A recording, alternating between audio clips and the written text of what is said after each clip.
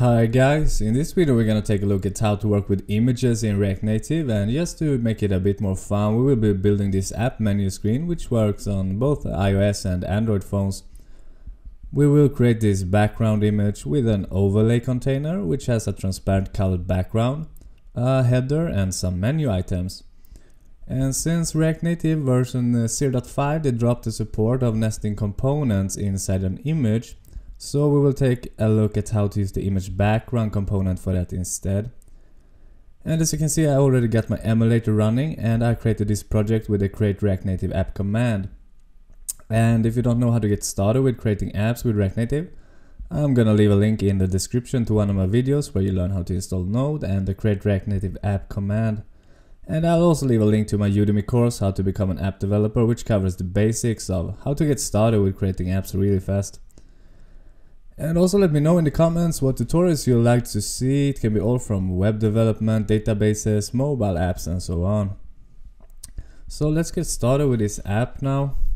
First of all, I'm just gonna go ahead and remove all the code so we can start over from a fresh project. I'm just gonna create a view here so we don't get any warnings. Also, I'm gonna delete the style sheet. And I'm gonna remove this import and I'm gonna remove the image background component. And I'm gonna delete this uh, menu item component I created. We're gonna create it from scratch. And also go ahead and um, create a new app folder. And inside it create a components folder and an image folder. And go ahead and download a couple of images I've just downloaded a couple of images and put them here for icons and the background image we will be using. So go ahead and do that before you start. So now I'm just gonna reload the emulator and we should have a fresh project, yeah. So the first thing we're gonna do is we're gonna have to use the image background. So go ahead and import the image background. We're gonna use it for the background of our app.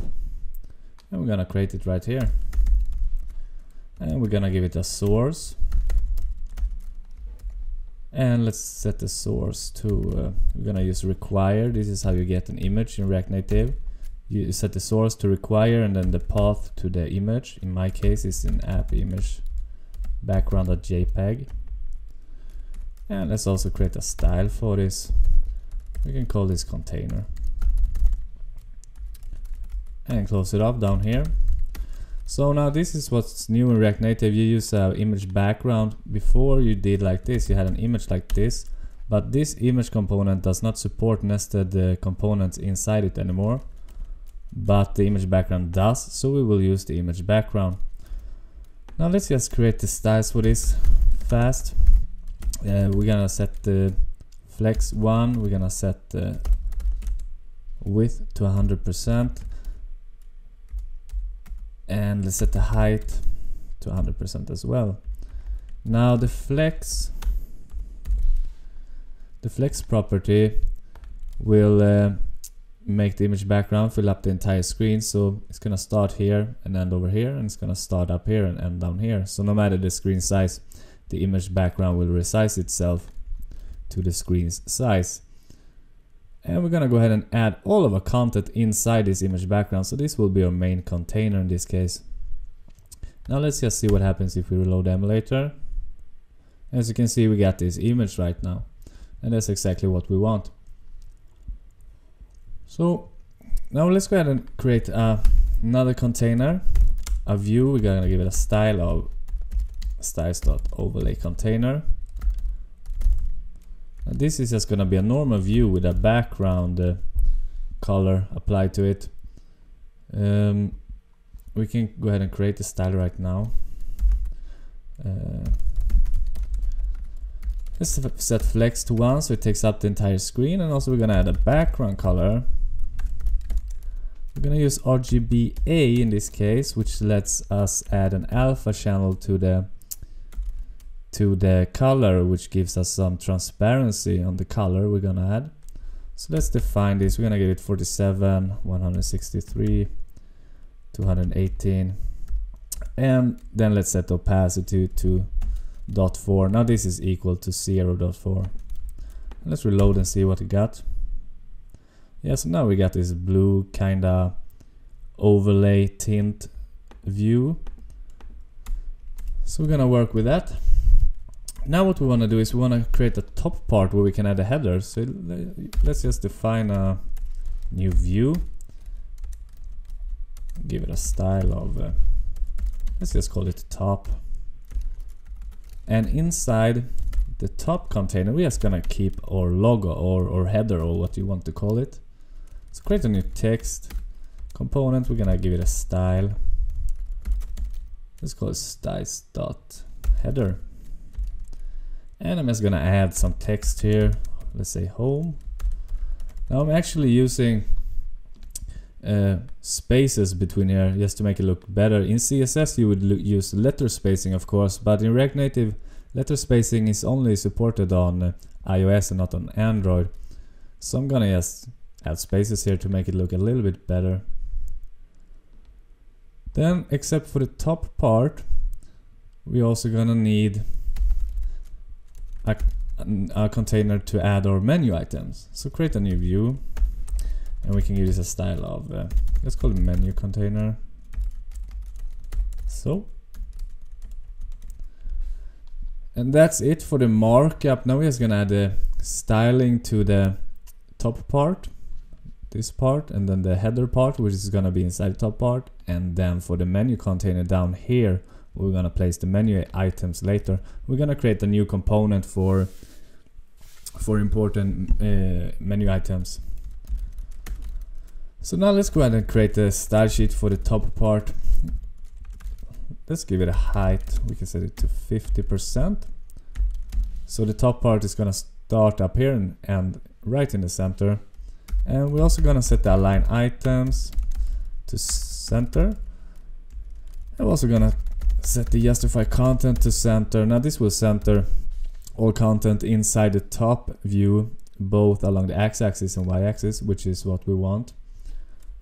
We're gonna create the header style. We can give this a color for the text. Now we can give it a hex color FFF that's equals to white. And let's add a big font size. We can give it 28 let's also give it a border. We can set the border color to white as well. And let's set the border width to 2 yes so it's visible. And let's set padding 20 this will this will be padding top and padding bottom.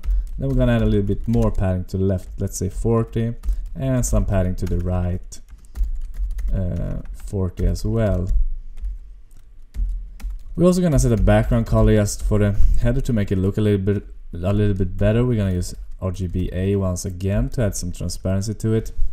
So let's just define white as just 255, 255, 255. And then just a lot of transparency, so 0 0.1.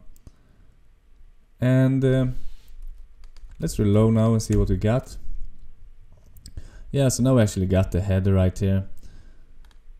So we got this top part now going down here and we got this header part centered inside it and everything lays on top of the overlay container or inside overlay container which is on top or inside the image background. Alright and this will adapt itself all of this will adapt itself to the screen size automatically. Now let's also create the menu container which we specified down here.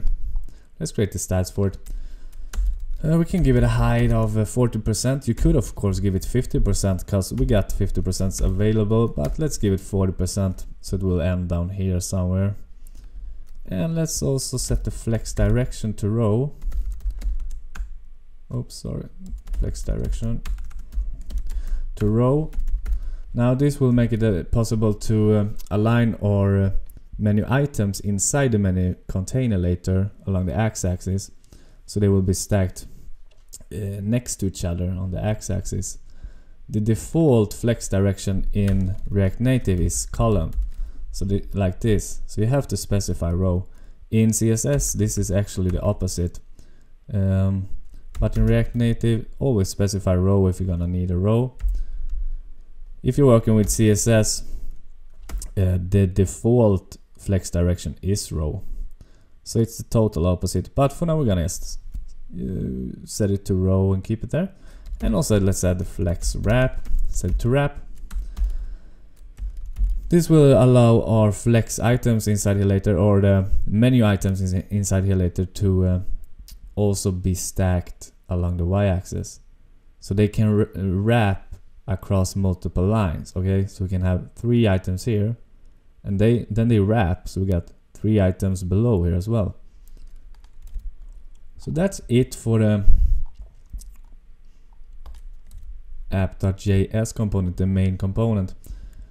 Now what we want to do is we want to create a component that can hold all our items here, the menu items. So it's really easy as to import them in some way. So we're gonna go ahead and let's create a, go up to the components folder, let's create a new file. And let's save this as menu item.js. And just create a new uh, import react from react. And we're gonna need to import a couple of things. We're gonna need the view and we're gonna need the image and also the style sheet. We want to import this from react native. So let's define a new class. So export default class and we're calling this the menu item so menu item and it extends the react component. This is just how you declare classes in in React Native or how you declare components in other words. And we're also gonna need the render method and it's gonna return the uh, markup or the layout. So in the layout we're gonna return a new view as you can see now this is looking a bit weird because I'm not using syntax babel so I'm gonna go up here and change the syntax babel if you haven't got this installed just google how to install it in Sublime Text it's really easy also, let's add a style here as well. Let's say uh, we can call this menu item. And inside this view, we're gonna use the image. Now the image takes a source. And in this case, we're gonna actually pass the source of the image as a prop from the app component. So from this component, all right? So just say this prop, those props, and we can name this prop whatever we want. Let's name it item image. That's perfectly fine. And add a style to it. We can just name it image and create the styles for that in just a second. So now we should be able to define some styles for this. So create a new style sheet And we're gonna start by declaring the styles for the menu item. So the container for the menu item component. Let's say you want three of these menu items in a row. So we get one item here, one item here, and one item here. That means the width is gonna width is gonna be 33%. So let's say 33.333 oops percent so we got three items per row. Let's set the height to 50%. And also let's add some padding. Set it 20 yes, to get some padding from the menu item to the actual uh, image we're gonna add inside the menu item. So to this image. So we're gonna have some padding between here.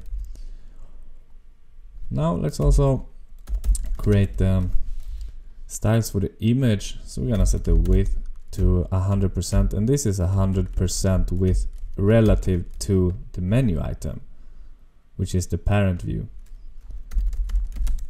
let's set a width of 100% as well and this same thing there is relative to the menu item and we can add some opacity to this it's gonna look better. Let's say 0.8 and also let's add a border color. We can put it to white.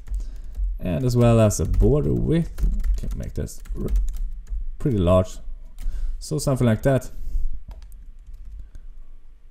So now these menu items will be able to uh, stack along the x-axis ne next to each other when we place them in the app.js inside the menu container.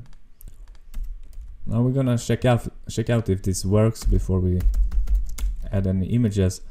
Let's just try to import menu item from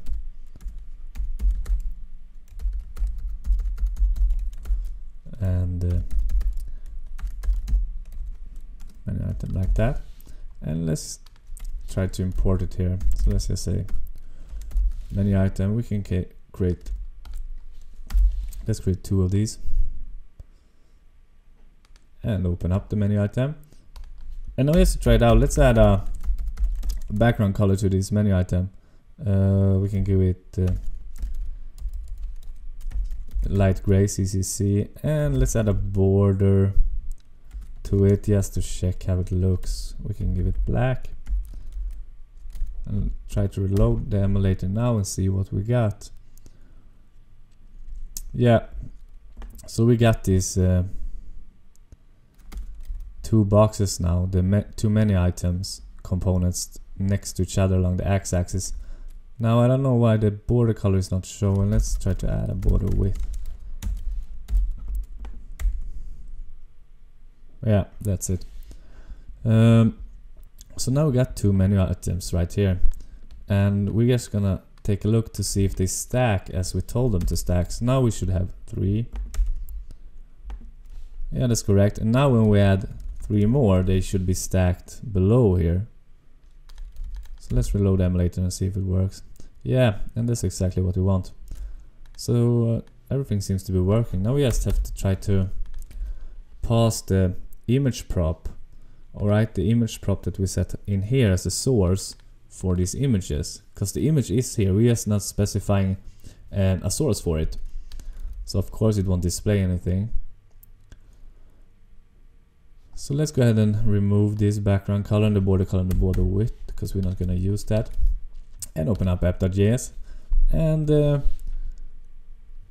let's just spe specify the prop. So item image equals with now we're just gonna require an image again. So let's require an image from app slash components. No sorry app slash image slash let's say icon1.png you will name this whatever you uh, name them when you download them and let's reload now and see if we got some result yeah so this image is actually showing now so we got one menu item. Let's just duplicate this now, now and create a couple more. So one, icon three, icon four, icon five, and let's say icon four again. And reload. And yeah, now everything seems to be working correctly. So that's how you use um, the image background as well as adding some overlay styles and uh, creating a custom component for the for the image like this now this is really dynamic as well since all the menu items are specified from one source only so if you if you add one change here let's say you added a new view and added some icons inside each image or whatever you just have to specify it in one place which makes it pretty dynamic and easy to work with. So that's it for working with images and uh, image backgrounds.